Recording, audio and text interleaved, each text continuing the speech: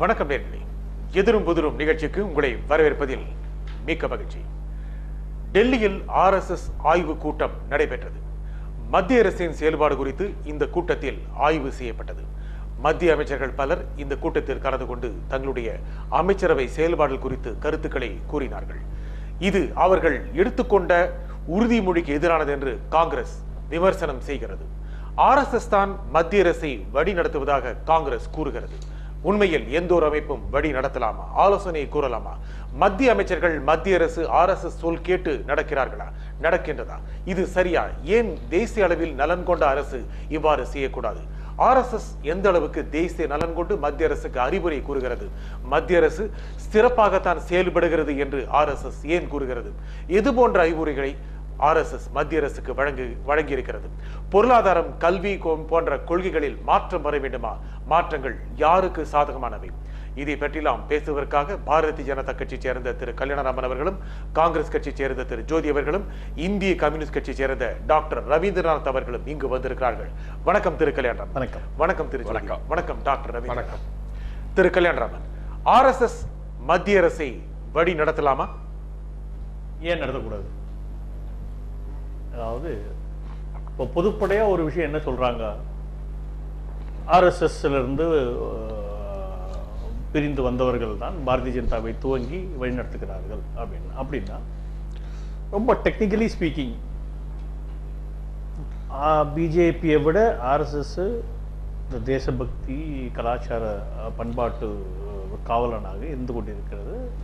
அதன் மூலமாக இந்த நாட்டை சிறப்பாக வழிநடத்தும் அதே நேரத்தில் அதிகாரத்தில் இல்லாமல் ஒரு ப்ராப்பர் ஒரு கைடன்ஸ் வழிகாட்டியாக செயல்படக்கூடிய ஒரு அமைப்பாக இருக்கிறது என்ற சூழ்நிலையில் ஆர்எஸ்எஸ்ஸிலிருந்து விலகி சென்று அரசியலில் குதித்து பாரதிய ஜனதாவை நடத்துபவர்கள் ஆர்எஸ்எஸ் போன்ற அமைப்புகளிடம் ஒரு ஆலோசனையை கேட்டு தெரிந்து கொள்வதுன்றது ஒரு பெருமைக்குரிய ஒரு விஷயம். அதனால் அங்கேருந்து ஏன் வழிகாட்டுதல் பெறக்கூடாது அப்படின்ற கேள்விக்கு எந்த இந்த பதிலை யாராலையும் சொல்ல முடியாது. ஒன்று ரெண்டாவது வந்து இதில் வந்து கான்ஸ்டியூஷனல் கொஸ்டின் ரைஸ் பண்ணுறாங்க அரசியல் சாசன ரீதியில் இது தவிர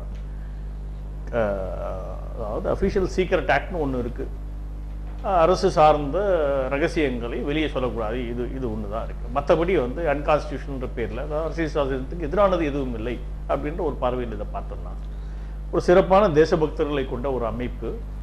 சதா சர்வகாலமும் நிமிடத்திற்கு நிமிடம் ஒவ்வொரு வினாடியும் நாட்டை பற்றியும் நாட்டுடைய நலனை பற்றியும் சிந்தி சிந்திக்கும்.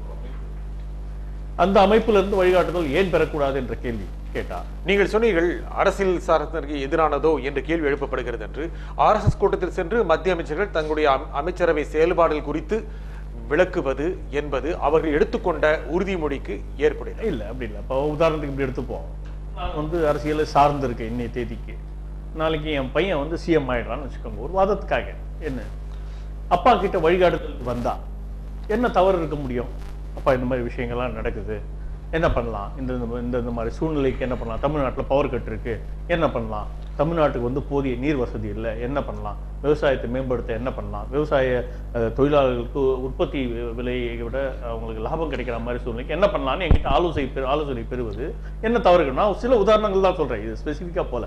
ஆக இது போன்ற ஆலோசனைகளை பெறுவது அதாவது பெரியவர்களிடமிருந்து பெறுவது எந்த விதமான தவறும் இல்லை. அதை வந்து இட்டுக்கட்டி பேசுறது அது பெரிய அரசியல் சாதனத்துக்கு எதிரான ஒரு செயல்பாடு மாதிரி இருக்கின்றது.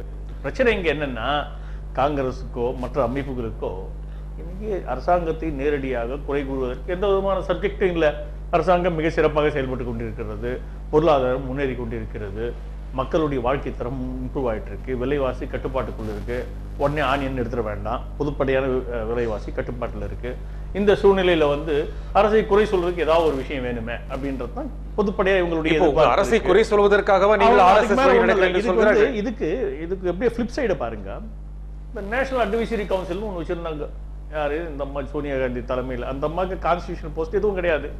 ஸோ அதுல வந்து யாரு? இந்தியாவுல மாபெரும் தேசபக்தர்களான தீஸ்தா செத்தல்வாது ஜான் தயால் அரு அருணா ராய் யாரெல்லாம் வந்து வெளிநாட்டிலிருந்து பணத்தை வாங்கி சொத்து சேர்த்துக்கிட்டாங்களோ என்ஜிஓன்ற பெயரில் அப்பேற்பட்ட மாபெரும் தலகர்த்தர்கள் தேசபக்தர்களை வைத்துக்கொண்டு நேஷனல் அட்வைசரி கவுன்சில் ஒன்றா அது வந்து பாலிசி டிசிஷன்ஸ் எல்லாம் எடுக்குமா?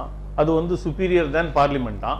அவங்க எல்லாம் முடிவு எடுத்த பிறகு அதை பார்லிமெண்ட்டுக்குள் புகுத்தி அரசாங்க முடிவாக நாடாளுமன்றத்தை விட. அது வலிமையானது என்று சொல்லவில்லை அது ஆட்சியை. ஆட்சியை இருக்கு அப்பொழுது இந்த நாட்டுல supremacy lies with the parliament ஐக்கிய முற்போக்கு கூட்டணி ஆட்சியை வழிநடத்துவது. யார்கிட்ட இருந்துச்சு இந்த நாட்டின் உயரிய ஸ்தானம் பாராளுமன்றத்திற்கு குறிப்பாக கீழவை என்று சொல்லப்படும்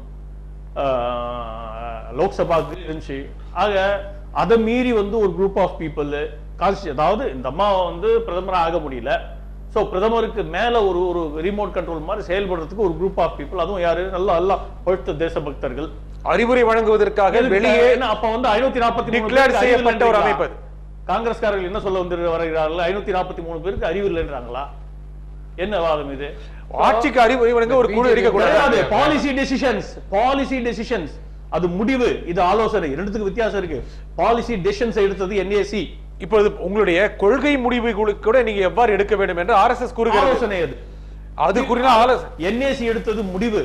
ஆர்டிஐ கொண்டு வந்து யாருன்னு கேட்டா காங்கிரஸ்காரர்கள் என்ன சொன்னார்கள்? ஆர்டிஐ புகுத்தது என்ஏசியில இருந்து ஏன் நீங்கள் எடுத்த முடிவுகளை அரசிடம் சென்று வழிமுறையை செய்கிறீர்கள்? அதற்கான சான்றிதழ் ஏன் பெறுகிறீர்கள். ஒன்னே கால் வருஷம் ஆண்ட பிறகு இந்த மாதிரி விஷயம் மத்திய ஆட்சிக்கு சான்றிதழ் வழங்கக்கூடிய நிலைமையில் ஆர்எஸ்எஸ் இருக்கிறதா? அது ஒப்பீனியனுங்க ஒரு சான்றிதழ் கிடையாது. நீங்க சர்டிபிகேட் நினைக்கிறீங்க? நீங்க வந்து எங்க நிக்க ஒரு கேள்வி கேக்குறீங்க? கல்யாணராமன் உங்க பேர் என்னன்னு கேட்டா நான் வந்து பூபதி நான் சொல்லுவேன். கல்யாணராமன் தான் சொல்லுவேன். நல்லா செயல்படுது சிறப்பாக செயல்படுது. இதான் ஆன்சர் இந்த ஆன்சர் வந்து ஆர்எஸ்எஸ் சொல்லி தான் ஆகணும். தத்தாத்ரேயா ஒசபலே எங்களுடைய பெருமதிப்பிற்குரிய சக கரிய காரியவாக சர்க்காரியவாக சொல்லக்கூடியவர் அதாவது joint organisation secretary of the organisation அவர் சொன்னாரு எஸ் நாங்க எங்ககிட்ட கேள்வி கேட்டா அழகா பதில் சொல்லலாம். எஸ் எங்ககிட்ட வந்து வழிகாட்டுதல் கேட்டா நிச்சயம் பண்ணுவோம். என்ன தவறு இருக்க முடியும்? சரி. எந்த விதமான தவறும் இல்லை. தேசபக்தர்கள் ஆடுகோ தேசபக்தர் கனல் இருக்கும் நாட்டுப்பற்று உள்ள அமைப்பு. எல்லா அமைப்புகளும் தேசபக்தி உள்ளவர் தானே? அது வந்து அவங்களுடைய தேசபக்தி எல்லாம் கேள்விக்குரிய தேசபக்தி. நீங்கள். நீங்கள்- நீங்கள் கேள்வி நம்ம சிபிஐ பத்தி நிறைய கதைகள்லாம் இருக்கு. நீங்கள்? கேள்வி- சரித்திரபூர்வமாக நீங்கள் நாங்க கேள்வி எடுத்து விட முடியும். கேட்டுவிட்டால் நீங்கள் கேள்வி கேட்டுவிட்டால் அது சந்தேகத்திற்குரியதாக ஆகிவிடுமா என்ன? இல்லைங்க சரித்திரம் என்பது ஒண்ணுதான். கல்யாணராமன் ஆயிரத்தி தொள்ளாயிரத்தி அறுபத்தி ஆறுல பிறந்தான் இது சரித்திரம். கல்யாணராமன் சரித்திரம் அதான். கல்யாணராமன் ஆயிரத்தி தொள்ளாயிரத்தி அறுபத்தி நாலுல பிறந்தான்னா அது பொய். அப்படிதான். ஆயிரத்தி தொள்ளாயிரத்தி அறுபத்தி ரெண்டுல சிபிஐ என்ன செய்தது என்பது தேசபக்தர்கள் அனைவருக்கும் தெரியும். இன்னைக்கு வந்து நாற்பத்தி ஐந்து ஐம்பது ஆண்டுகள். கடந்து விட்டது அதனால. மக்களுடைய நினைவுகள் வேணா சில தப்பி போயிடும். ஞாபகப்படுத்துறதுக்கு நாங்க இருக்கோம். சரி. திரு ஜோதி ஆர்எஸ்எஸ் வழி வந்தது பிஜேபி அது எந்த காலத்திலும் மறுக்கவில்லை. ஆர்எஸ்எஸ் உடைய பல கொள்கைகளில் மாற்றம் செய்து அரசு சட்டத்துக்கு உட்பட்டு ஆட்சி நடக்கிறது ஆட்சி நடத்துகிறது பிஜேபி. அந்த வகையில் தன்னுடைய வழிநடத்துதலை பெற்றுக்கொள்வதற்காக ஆர்எஸ்எஸ் போன்ற இயக்கத்தை நாடுவதில் என்ன தவறு இருக்கிறது? முழுமையாக தவறு. பிஜேபி என்பது அரசியல் சார்பாக மக்களிடம் வாக்குகளை பெற்று இன்று ஆட்சிக்கு வந்திருக்கிறது. ஆர்எஸ்எஸ் என்பது உண்மையாக எந்த மக்களிடமும் ஒரு அது ஒரு கலாச்சார அமைப்பாக பயங்கரவாத அமைப்பு ஒரு தீவிரவாத அமைப்பு இதே இந்த வார்த்தைகளை பயன்படுத்துகிறீர்கள்? உறுதியாக உறுதியாக ஏன் பயங்கரவாத ஆர்எஸ்எஸ் என்று அமைப்பு? மூன்று முறை தடை செய்யப்பட்ட அமைப்பு ஏன் தடை நீக்கப்பட்டது அதையும் சொல்ல தடை. நீக்கப்பட்டது என்ற மன்னிப்பு கடிதம் எழுதி கொடுத்து நாம் மீண்டும் அதுக்கு தேசத்துக்கு ஒற்று ஒத்து நாங்கள் வழி நடப்போம் என்று சொன்னதினால் மீது அது தடை இது. மாபெரும் பொய் என்பதை. நான் இங்கு பதிவு செய்து வேண்டும் எந்த. விதத்திலும் மன்னிப்பு கடிதம். எங்கும் நான். தரப்படவில்லை மூன்று முறை தடை செய்யப்பட்ட அமைப்பு அது உண்மையாக இல்லையா மூன்று முறை தடை ஏன். கேள்வி. ஏன் பண்ணீங்கல்ல நீங்க எதுக்கு மன்னிப்பு கடிதம் எழுதி கொடுத்து கிடையாது. நாங்கள் மீண்டும் மக்களாக. சரி, சரி, முதல். தேச முழுமையான பொய் அது. பொய்யை சொல்லாதீங்க. இன்றைக்கு மக்களுக்கு மக்களால் வாக்குகளை பெற்று ஆட்சிக்கு வந்த பாரதிய ஜனதா கட்சி இன்றைக்கு ரகசிய காப்பு பிரமாணம் எடுத்த ஒரு அரசியல் கட்சி அந்த ஒன்னேகால் வருடத்திலே இன்றைக்கு போய் அவர்களிடம் வரிசை கிரமமாக ஒரு ஒரு அந்த அமைச்சர்களும் தான் ஆட்சி செய்கின்ற அமைச்சர்களுடைய அந்த பதவி பிரமாணத்தை மீறி அவர்களிடம் சென்று ஆலோசனை பெறவில்லை. அவரிடம் இட்டு தான் என்னென்ன செய்திருக்கிறோம் என்பதை பட்டியலிட்டிருக்கின்றார்கள். இன்றைக்கு பட்டியலிட்டது என்று சொன்னால் காஷ்மீரிலே இன்றைக்கு ஐஎஸ்ஐஎஸ் கொடி பறக்கிறதே. அதுக்காக பேசினார்களா? அல்லது இன்றைக்கு பாகிஸ்தானோடு பேச்சுவார்த்தை தடை செய்வோம் என்று சொல்லியிருக்கிறார்கள் அந்த பேச்சுவார்த்தை தடை செய்வதற்கு அவர்கள் ஆலோசனை பெற்றார்களா? அல்லது இன்றைக்கு இந்தியனுடைய தளபதி அவர்கள் சொல்லுகின்றார்கள் பாகிஸ்தானோடு போர் தொடுப்போம் என்று சொன்னார்களே. அந்த போர் தொடுப்போம் என்று சொன்னதை இன்றைக்கு ஆர்எஸ்எஸிடம் கேட்டு பெற்றார்களா? அவர்கள் இன்றைக்கு இந்த தேசத்தினுடைய இன்றைக்கு வறுமை கோட்டில் இருக்கக்கூடிய மக்களிடமிருந்து இன்றைக்கு பிரிந்து சென்றக்கூடிய இந்த தேசத்தை இன்றைக்கு மறுபடியும் ராம ஜென்ம பூமி கட்டுவோம் என்று சொல்கின்றார்களே. அதற்குண்டான தாக்கீதை பெற்றார்களா? இவர்கள் என்ன பெற்றார்கள்? எப்படியாக பிரதமர் பிரதமர் தகவல் உங்களுக்கு வேண்டும்? தகவல் என்பதில்ல. பிரதம மந்திரி இந்த அமைச்சர்கள் அனைவருமே இன்றைக்கு மக்களுக்கு வாக்களிக்க மக்களுக்கு பதில் சொல்ல கடமைப்பட்டவர்களா? ஆர்எஸ்எஸ்க்கு கடமை சொல்ல கடமைப்பட்டவர்களா? அவர்கள் ஆர்எஸ்எஸ் தினம் சென்று தகவலை கூறியிருக்கிறார்கள். ஆர்எஸ்எஸ் என்பது இன்றைக்கு மக்களுக்கு பதில் சொல்லிக் கொண்டு தானே இருக்கிறார் மக்களுக்கு எங்க பதில் சொன்னார்கள்? நாடாளுமன்றத்தில். பேச வேண்டிய பிரதம மந்திரி இன்று வரை நாடாளுமன்றத்திற்கும் மக்களிடம் சென்று பேச வேண்டிய நாடாளுமன்றத்தில் இதுவரை பிரதம மந்திரி எந்த நாடாளுமன்ற உறுப்பினர் கேள்வி கேட்பதற்கு எதிர்க்கட்சிகள் கேள்வி கேட்பதற்கு பதில் சொல்ல முடியாத வாய்மூடி மௌனமாக இருந்தவர். குறித்து நாட்டு நலன் குறித்து பிரதமர் பேசிக் இருக்கிறார். அவர் வந்து மான் கி பாத் என்று ரேடியோவில் பேசுகின்றார். ஆனா நாடாளுமன்றத்தில் மக்களிடம் மக்களுடைய கேள்விக்கு எதிர்க்கட்சிகள் சொல்லக்கூடிய கேள்விகளுக்கு பதிலளிக்க வேண்டிய நீங்கள் கேட்கின்ற கேள்வியை பொறுத்து இருக்கிறார் கேள்வி கேட்பதில்லை. அவர்கள் தான் சொன்னார்கள் இன்றைக்கு நில அபகரிப்பு சட்டம் என்று சொன்னார்கள் இன்றைக்கு ஒன்னொன்றில் சொன்னார்கள். அதெல்லாம் நாடாளுமன்றத்திலே வந்தது. அந்த நாடாளுமன்றத்திலே பிரதமர் எதையாவது இன்றைக்காவது இந்த கடந்த நாடாளுமன்ற உரை இது வரைக்கும் பிரதமர் பேசியிருக்கிறாரா? பேசக்கூடாத பிரதமர் பேச மறுக்கின்ற பிரதமர்.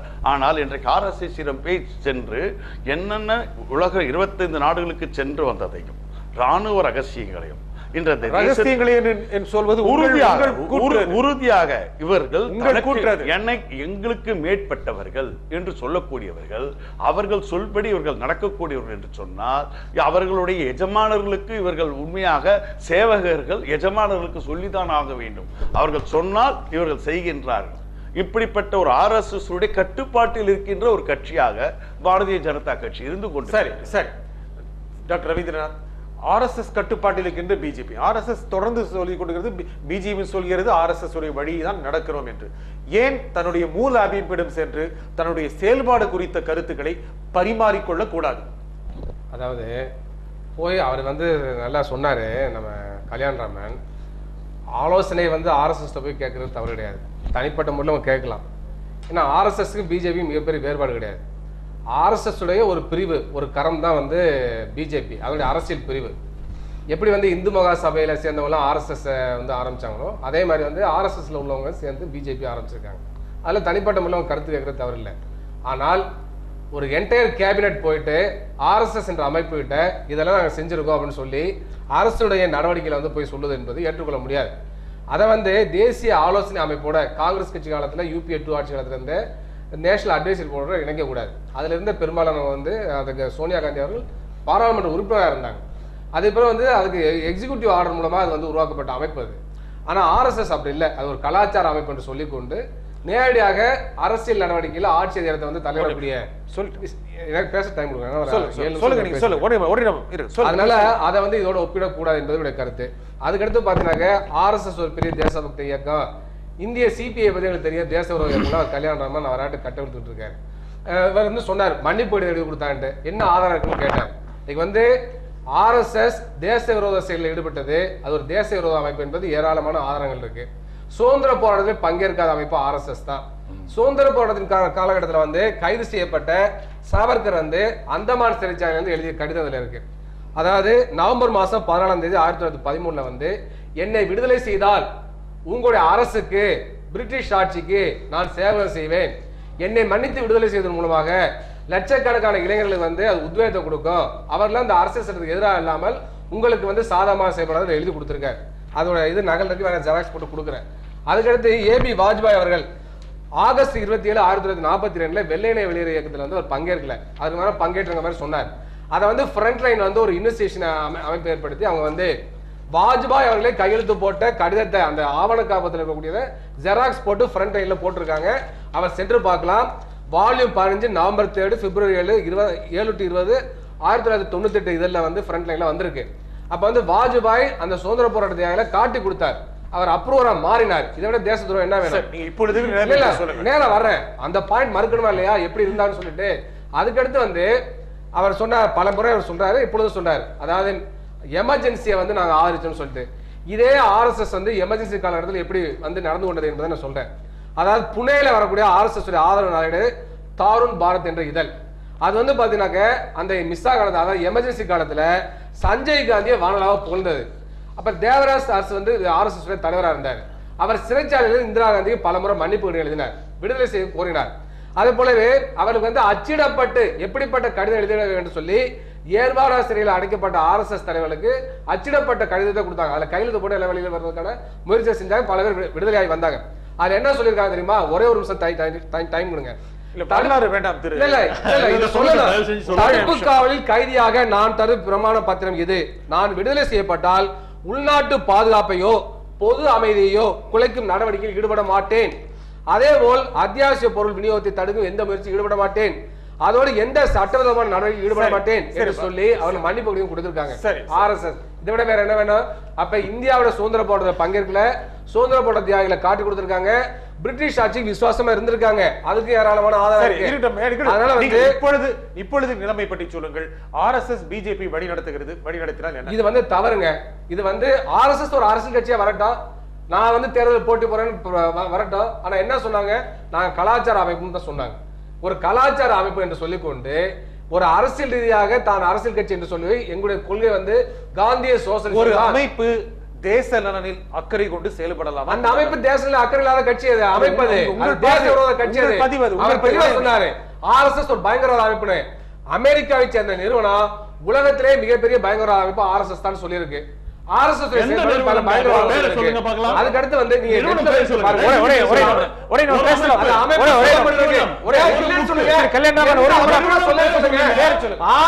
பயங்கரவாத அமைப்பு. எந்த அமைப்பு சொல்லலன்னு சொல்ல சொல்லுங்க. ஆர்எஸ்எஸ் ஒரு பயங்கரவாத அமைப்பு ஒரே- ஒரே நிமிடம் பேசலாம். உலகத்திலே மிகப்பெரிய பயங்கரவாத அமைப்பு என்று சொல்லி? அமெரிக்காவை நிறுவனம் சொல்லி. ஒரே- ஒரே- இது பேடித்தனம் தொடர்ந்து பேசுவோம், இது தொடர்ந்து பேடித்தனம் பேசுவோம். கோழைத்தனம். சரி, அந்த தொடர்ந்து நிறுவனம் பேரை தொடர்ந்து சொல்லுங்க. பேசுவோம், தொடர்ந்து பேசுவோம், தொடர்ந்து என்ன பேசுவோம். நிறுவனம்னா என்ன? தொடர்ந்து பேசுவோம். நிறுவனம் பேரை சொல்லுங்க பார்க்கலாம். தொடர்ந்து பேசுவோம் தொடர்ந்து பேசுவோம். மத்திய அரசின் செயல்பாடு குறித்து ஆர்எஸ்எஸ் ஆலோசனை நடத்தியது சரியா? மத்திய அரசு எந்த அளவுக்கு செயல்படுகிறது ஆர்எஸ்எஸ் கூறலாமா? ஆர்எஸ்எஸ் வழி நடப்பதாக பிஜேபி ஏன் சொல்கிறது? மத்திய அரசு யாருடைய அறிவுரைப்படி நடக்கலாம்? இதை தொடர்ந்து பேசுவோம். பாருங்கள்.